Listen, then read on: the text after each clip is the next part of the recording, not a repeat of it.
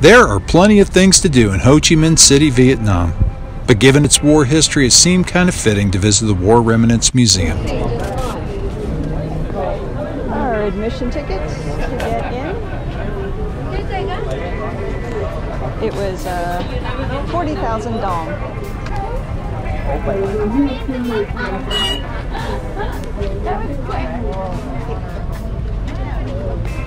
The museum has operated since 1975 and ironically is located in the former United States Information Agency building. Hmm. In the entry yard are many types of military equipment from the Vietnam War itself.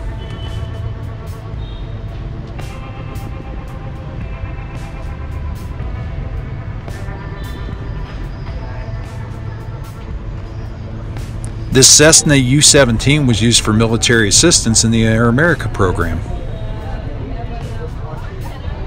This F 5A Freedom Fighter was supersonic and able to compete with the MiG fighters of its day. The Douglas A-1 Skyraider is a single-seat attack aircraft that saw service for over 40 years. The Bell UH-1 Hueys were the most widely used choppers throughout the war. Over 5,000 of them were deployed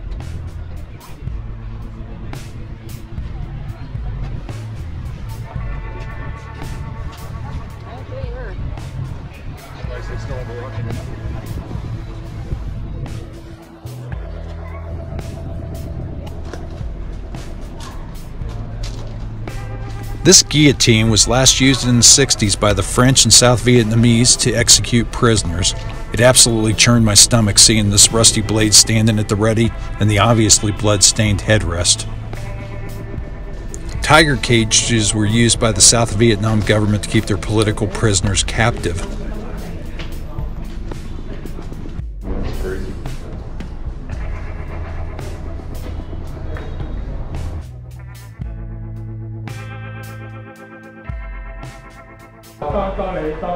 Graphic pictorial exhibits covered the effects of Agent Orange and other foliants and the use of napalm and phosphorus bombs and what it did in the war.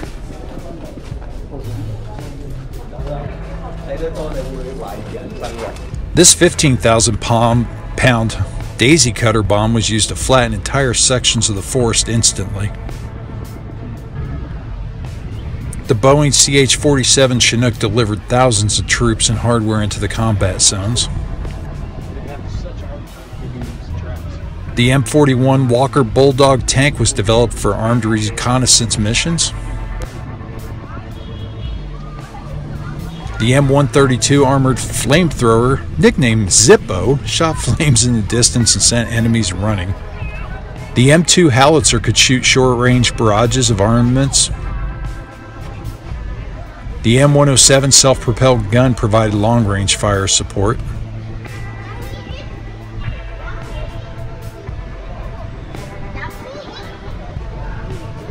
As we covered each of the three floors looking through photographs, weapons, guns of all make, and the effects of all the chemical agents that the people and the land had felt, I was really saddened.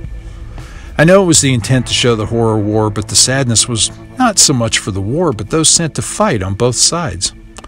It was a stifling hot day. We were dripping with sweat, swarmed with flies and mosquitoes everywhere, and this is walking around in 2019, in and out of climate controlled spaces.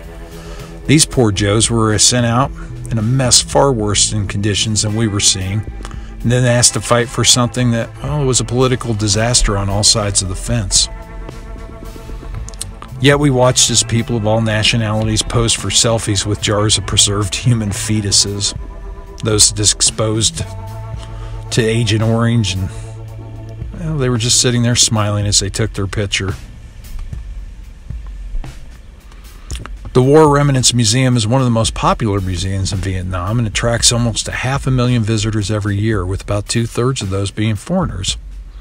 Yet I'm not really clear if I don't know if the intent was lost on the mass of visitors. It left us horrified and again stunned at the depravity of the human nature.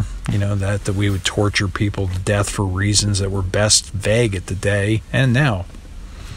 We left quiet, hoping that somehow we would all devolve to a better level of compassion one day. Glad that this reminder sits in place as a realistic picture of forgotten times swept under the rug many years ago for most. Well, that's all for this video.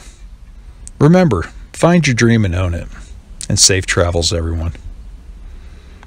If you like the video, don't forget to click like and subscribe so you know when we're doing other videos.